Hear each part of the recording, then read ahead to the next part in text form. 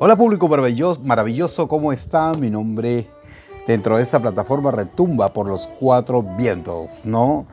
¿Cuál es mi nombre? Por supuesto, el mismo que viste y calza.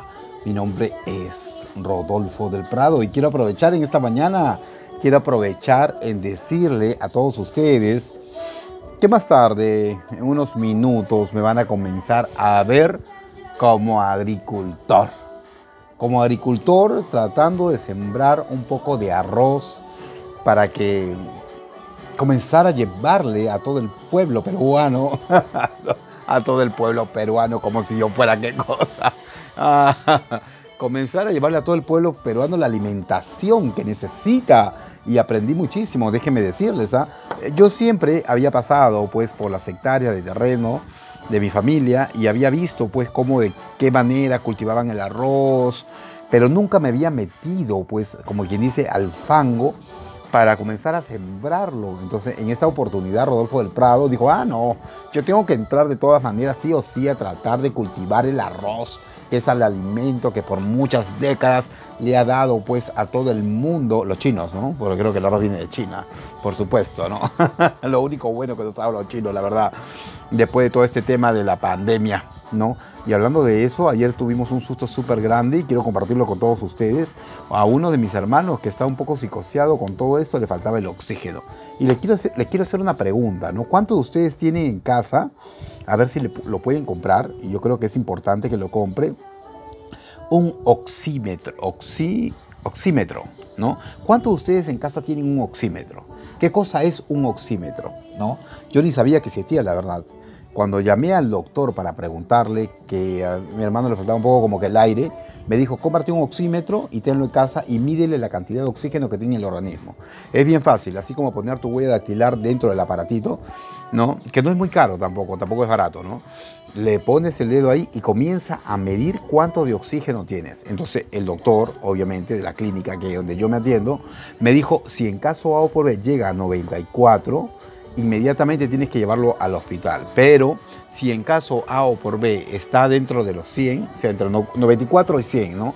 Quiere decir que todo está bien. Y gracias a Dios, después de haberle puesto el oxímetro y haberle medido cómo va el oxígeno, uy, todos nosotros contentos en la plataforma, comenzamos a saltar en un pie juntamente con mi mamá y todos porque quiere decir que estaba bien. ¿Y cómo es el poder de la mente? Quiero decirles esto, ¿no? Que cuando se te mete algo en la cabeza, comienzas a sentir síntomas y todo lo demás y gloria a Dios en el nombre de Jesús, todo salió súper bien. Aprovechando en esta oportunidad, Rodolfo del Prado nuevamente ingresa pues a su canal para tratar de llevarles un poco de información de una manera completamente diferente. Y para eso quiero invitarle a todas aquellas personas que ingresan por primera vez a mi plataforma a suscribirse a mi canal accionando la campanita. No solamente eso, sino también pues muchísimas gracias a aquel público maravilloso que me ve todos los días de una manera fiel y leal a mi persona y yo también a ustedes que me ven los comerciales y de esa manera comienzan a valorar el trabajo que yo hago eh, dentro de este canal y pues... Mm. y valoran el trabajo que yo hago y, de esa manera trabajo feliz para todos ustedes, por supuesto que sí. El día de hoy estoy prácticamente solo y como estoy solo, pues estoy así, ¿con, con quién cree usted? Estoy así de esta manera, tratando de llevar el programa adelante para que todo mi público se pueda divertir con Rodolfo del Prado. Vamos a hablar de un personaje, de alguien que está dentro del mundo del espectáculo y de la farándula y que pues en este tiempo que ha pasado, que ya tiene una edad pues bien avanzada, se podría decir. Vamos a un ratito a hablar. Bueno, tiene una edad como que dice un poco bien avanzada, ¿no? Pero que ha sido en su momento un hombre exitoso dentro de las cosas que ha hecho, pero que la fama, como es, no? La fama siempre tiene un precio. La fama siempre tiene un precio. Y el precio de la fama es que muchas veces, pues por más que tú quieras guardar tus cosas personales bajo siete llaves, es imposible hacerlo, ¿no? Comienzan a salir las porquerías de cada quien y después cuando salen, es como no son consecuentes con todo, comienzan a pitear y comienzan a hablar de que van a demandar a uno, que van a demandar a otro, que por aquí, que por allá, por meterse en su vida. Claro, ellos viven del público, ¿no? El público les paga por cantar, por actuar, por bailar y algunos les pagan por hacer ridiculeces en todas las plataformas habidos y por haber. ¿no? Y comienzan a vender sus porquerías ante la sociedad y después se quejan, ¿no? Uy, sí, por supuesto que sí. Pero pues, ¿qué podemos hacer al respecto? Esto es Chollywood, por supuesto, ¿por qué le vamos a decir que no? Esto es Chollywood. ¿Y por qué le decimos Chollywood? Le decimos Chollywood porque todos en toda Latinoamérica somos cholos. Así lo queramos negar. Pero bueno, aquí me refiero, ¿quién viste el calza para todos los calificativos que he dicho? El Puma, ¿no? José Luis Rodríguez, alias el Puma. Aquel hombre que ha salido dentro de un canal de cable, si no me equivoco, ¿no? a dar una serie de declaraciones. Y todos nosotros desde acá hemos visto cómo este señor, que dice ser cristiano, que se comienza a golpear el pecho de una u otra manera y comienza a poner a Dios delante de todos y comienza también de una u otra manera a ningunear a las hijas que ha tenido en su primera relación, en su primer compromiso. Bueno, nosotros acá, desde acá no sabemos qué cosa es lo que pasa dentro de esa familia, ¿no? ¿Por qué motivo él actúa así? Lo poco que sabemos hace que nosotros salgamos a criticarlo y comencemos a hablar de él. Por eso yo creo que los famosos deberían contar con lujos y detalles qué es lo que sucede. José Luis Rodríguez el Puma tiene una hija, una segunda hija, que es media hermana de las otras dos que viven en Venezuela. Y esa hija aparentemente no hace absolutamente nada para hacer que su papi se junte con sus hermanas, sino que aporta, creo yo, un poco de veneno, un poco de veneno y un poco más de veneno para que esa relación siga siendo una relación tóxica entre ellos. Entonces, desde acá, Dios te está mirando y dice, ¿cómo es posible que este hombre salga aquí a pedirme, a decir un montón de cosas hacia mí si no puede ser feliz contra, con sus propias hijas? Aquellas hijas que en algún momento le juró, amor eterno. Y lo ponemos en esta posición como Juan Gabriel. Ay, papacito, comienza a cantar amor eterno también tú. el señor, eh, el señor Puma estuvo aquí en el Perú como jurado un tiempo de La Voz y estuvo participando y bueno, yo tengo enterado que en esa época que él estuvo aquí en Perú, una de sus hijas llegó aquí al Perú también. ¿No? Y trató de verse con él y todo el rollo y se armó un escándalo con ese tema. Pero ¿qué sucede? A ver, José Luis Rodríguez el, Puma habló de su, de su trasplante de pulmón, ¿no? Y dijo dentro de el canal de televisión en cable que quiere conocer a la familia que le devolvió la vida. Aquí la única persona que te devolvió la vida, a mi querido amigo, solamente fue Dios, ¿no? ¿Por qué? Te voy a decir por qué. Porque Dios decide cuándo mueres, cuándo te vas, cuándo desapareces de la tierra. Pero como tú no eres consecuente con nada, Él dijo que la familia le devolvió la vida. Dios pone el querer y el hacer en los corazones de las personas. Ah, está, ni eso sabes. Ahora entiendo por qué te llevas tan mal con tus hijas. Porque ni siquiera sabes qué cosa es lo que estás diciendo. Ahora comenzamos a comprender absolutamente todo, ¿no? Y como en esta plataforma Rodolfo El Prado está para desmenuzarlo al pumilla, comenzamos a decirle sus verdades en su cara también a él. Por las cosas que suceden, pues, ¿no? Hay que ser consecuente con las cosas que vas a salir a decir. Cuando te van a hacer una entrevista, mejor di, sabes que hay cosas que yo no puedo hablar. No quiero hablar del tema porque esto va a generar esto, va a ser esto, va a ser... ¿Te trasplantaron el, el pulmón o qué? creo que le faltó trasplantarte el cerebro para que comiences a pensar. A ver, recordemos. Recordemos que en el año 2017 él recibió un doble trasplante de pulmón en el Hospital Jackson Memorial de Miami. Allí fue el trasplante, ¿no? Em, él estuvo más o menos hospitalizado un mes, un mes después que recibió el, el pulmón y le dieron de alta. En un mes le dije, vaya papacito, acá acá, estás ocupando mucho espacio, ya respira, ¿no? Ay, lárgate. Ándate a tu casa para que te críe, para que comience a cuidarte la hija esta que tienes, porque las otras dos estás peleado, no te pueden ver ni en pintura, así que desaparece, así como Mindy, Mendy. Oye, la pobre la tenemos tirándola de un lado para otro. Se fue por allá. por supuesto, y así lo mandaron a su casa, al hombre, ¿no? Este, este lunes que pasó, el Puma habló con don Francisco. Ay, el histórico conductor de televisión que hemos visto nosotros en diferentes canales de Estados Unidos, que estuvo, fue chileno primero, ¿no?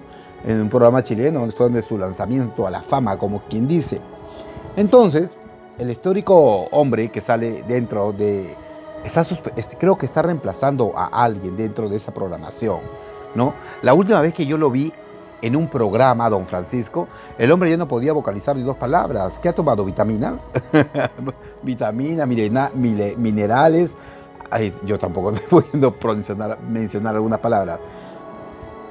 Eh, Milo te hace grande, leche, tres vasos de leche al día entre otras cosas más, para poder estar dentro de... Oye, pero se ve bien, ¿no? De verdad, chicos. En lo poco que yo pude ver, me di cuenta que se le veía bien, ¿no?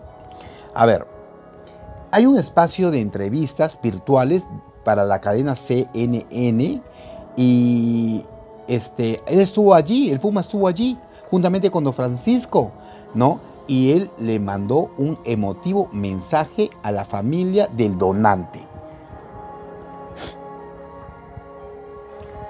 Le mandaste un emotivo mensaje a la familia del donante y yo me pregunto, ¿no? Al igual que muchas personas que están acá, la gente habría dicho, ay, pero él está mandando un mensaje a la familia del donante. ¿Por qué no se comienza a mandarle un mensaje a sus hijas? Decirles, hijas mías, claro, debiste haber hablado obviamente del, donante, pero también porque hay que agradecer que una persona haya accedido a darle sus órganos a la gente que realmente lo necesita. Y quiero invitar aquí también en esta plataforma, aprovechando, hablando del tema, que a todos aquellos que deseen hacerlo, háganlo, porque de esa manera ayudan a otras personas a poderse salvar la vida, porque son muy pocos las personas que deciden donar sus órganos, ¿no? Yo también tengo que comenzar a donar, creo.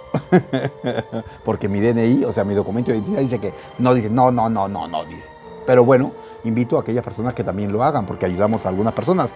Prueba está el señor Puma, que él está ahorita bien, se le ve al tío, cómo se ha recuperado, que cuando lo veíamos acá, ah, ah, ah, así estaba. estaba que se caía de un lado para el otro, el pobrecito.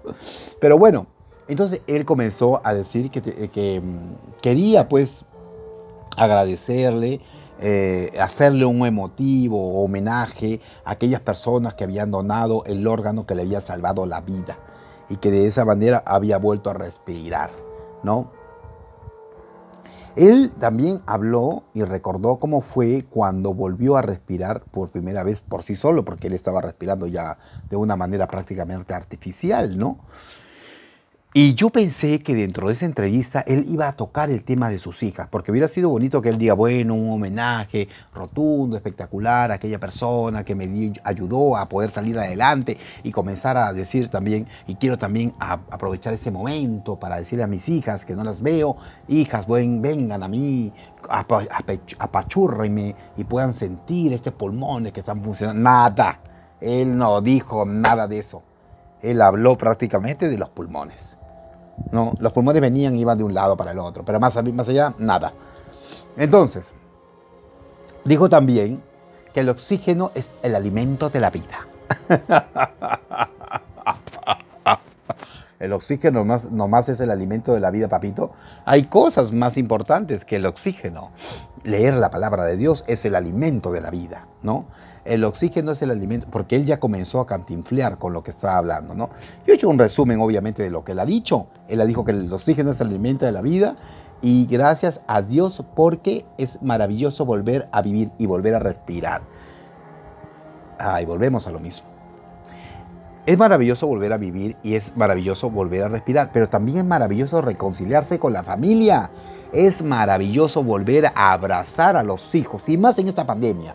¿No? En esta pandemia, cuando tú no sabes si realmente tus hijas van a vivir, pues hasta que todo el mundo se vacune, si es que esa funciona realmente, ¿no? Tú no sabes realmente, ni siquiera te has podido conmover con este tema de la pandemia, no te has podido conmover y ahora quieres conmoverte por unas personas que no conoces porque te dieron la donación del pulmón, que claro, obviamente, pues no hay, hay que estar agradecidos, ¿no?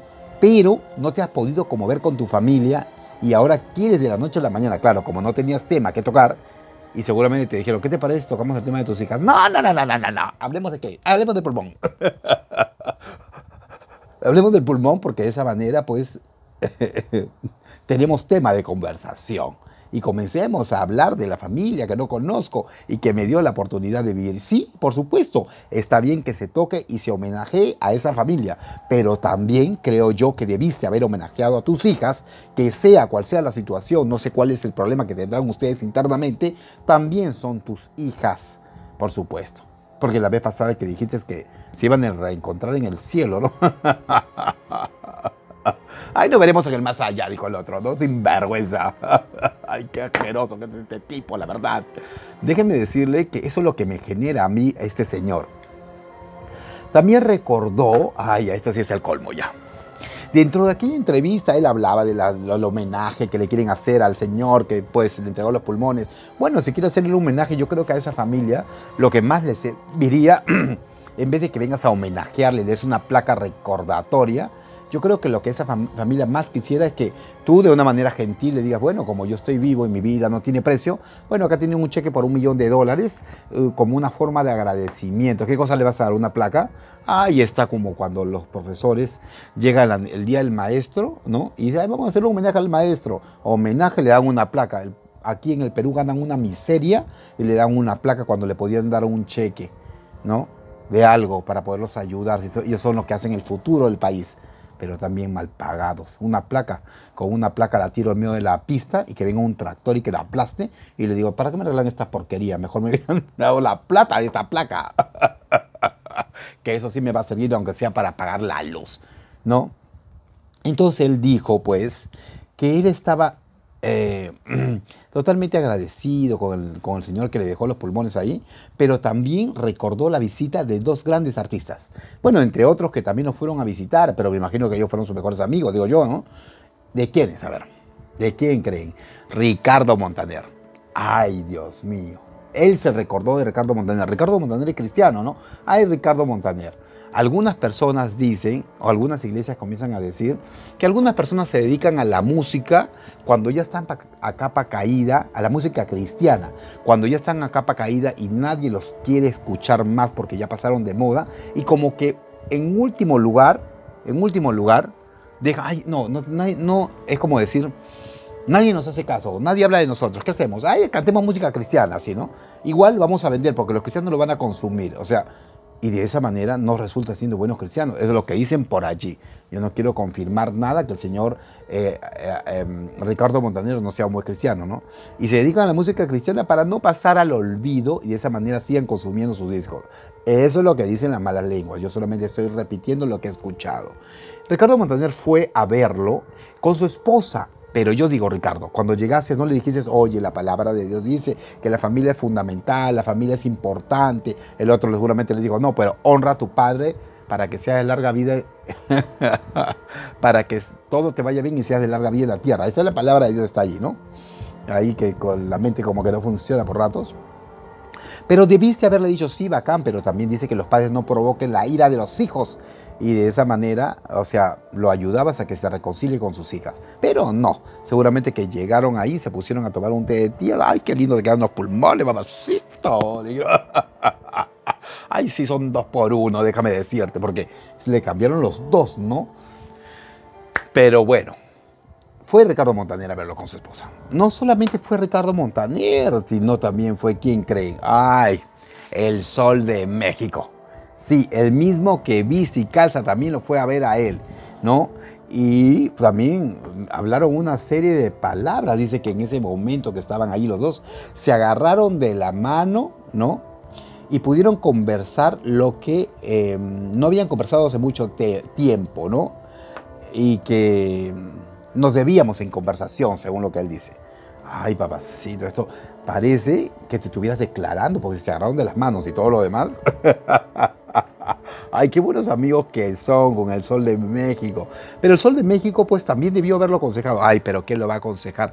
Si él cumple con todas las funciones de padre, con la ex esposa que ya no está con él, pero no lo ven nunca al hombre según lo que ella manifiesta. Porque ella ha dicho, Araceli Arámbula ha dicho, sí, él cumple con padre y cumple con todas las funciones habidas y por haber, pero lamentablemente, ¿no? Lamentablemente no lo vemos por ninguna parte. Él brilla por su ausencia.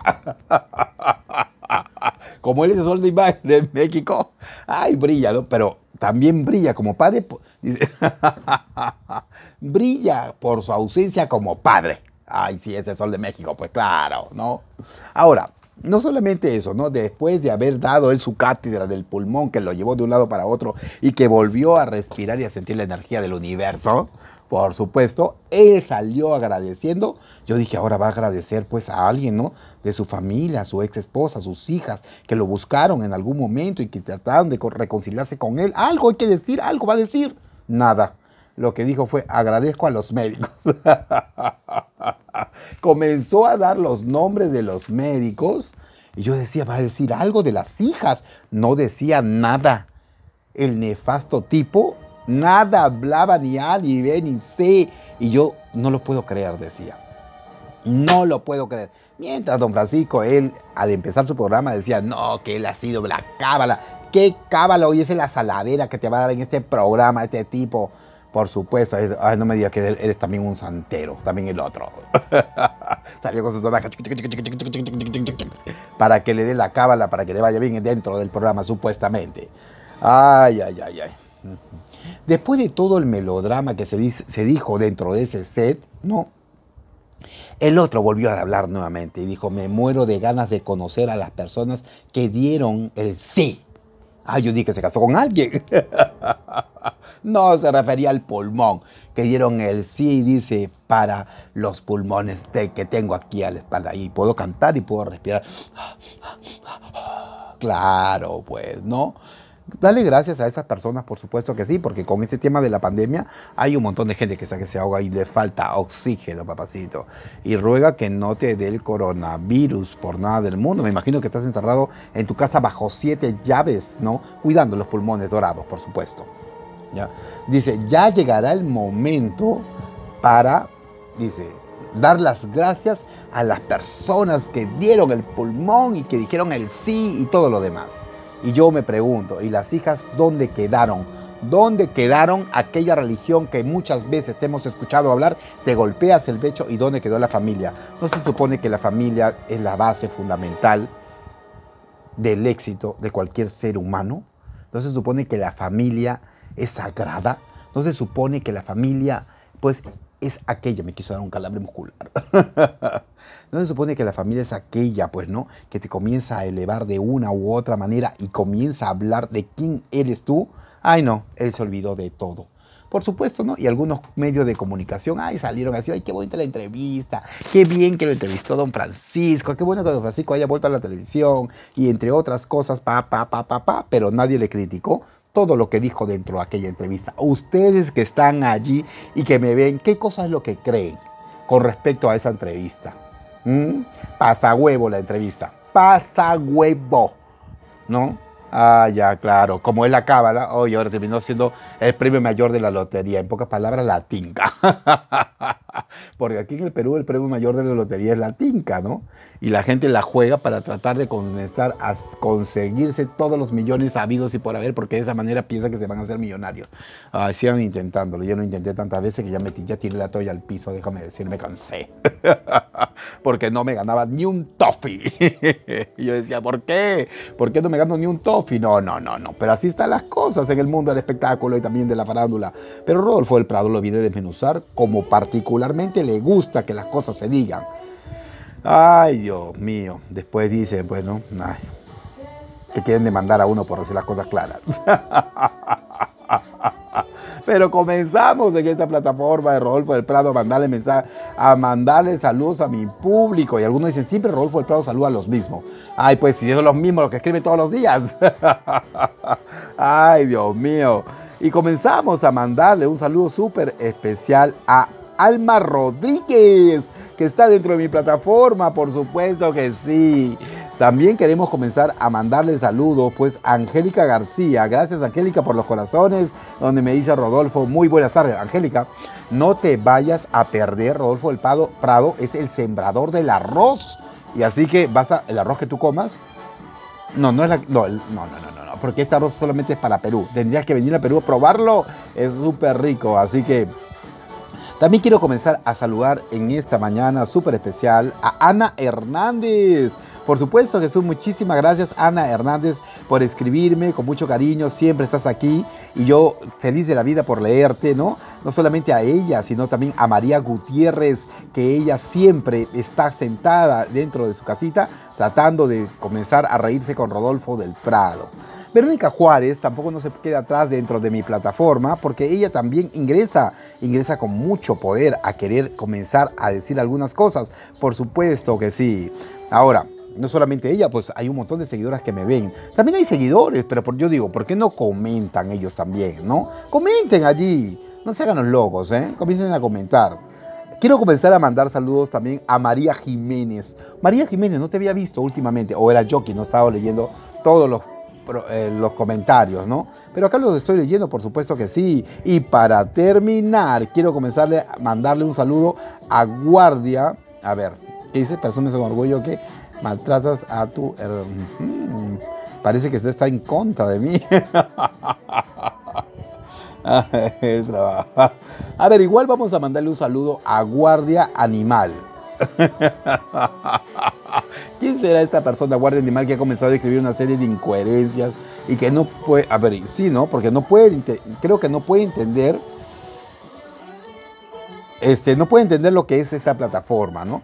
Yo digo, si no puedes entender lo que es esta plataforma y no te gusta lo que yo hago aquí, la puerta está abierta para que las personas que se quieran quedar se queden y los que no, no. Pero porque son masoquistas, quiero entenderlo una vez en la vida. Pero para comenzar a darle buena vibra a esto, vamos a comenzar a saludar a otra persona, ¿ya? A ver. Ah, eso, va. Acá me dicen que todo esto es una cortina de humo por el día de ayer con respecto al tema pues, de Jorge Carvajal. A ver, a César Leiva. Oh, amigo, por fin encontré un saludo de un caballero que está allí en esta plataforma, Rolfo del Prado, que me ve siempre y seguramente que se mata de risa con las locuras que yo hago. Con mucho cariño para todos ustedes. Así que César Leiva, te mando un abrazo súper especial de Rodolfo del Prado y su plataforma, diciendo lo que siempre digo a todo mi público que me ve, recordando que en la vida absolutamente todo lo que hagas es actitud, pena de dos, termina siendo menos atroz, por supuesto. Y si no te gusta mi canal, entonces ¿qué cosa haces acá? Le digo pues a aquellas personas que no les gusta, critican, entonces, pero les encanta verme, igual les mando un beso, los quiero de todas maneras. Pronto Rodolfo del Prado lo va a terminar conquistando absolutamente a todos de alguna u otra forma, hay que buscarla nada más. Así que un beso grande también para mis detractores, como todo mi público maravilloso que me ve. Un beso grande, los quiero, nos vemos. Hasta más tarde, bye bye.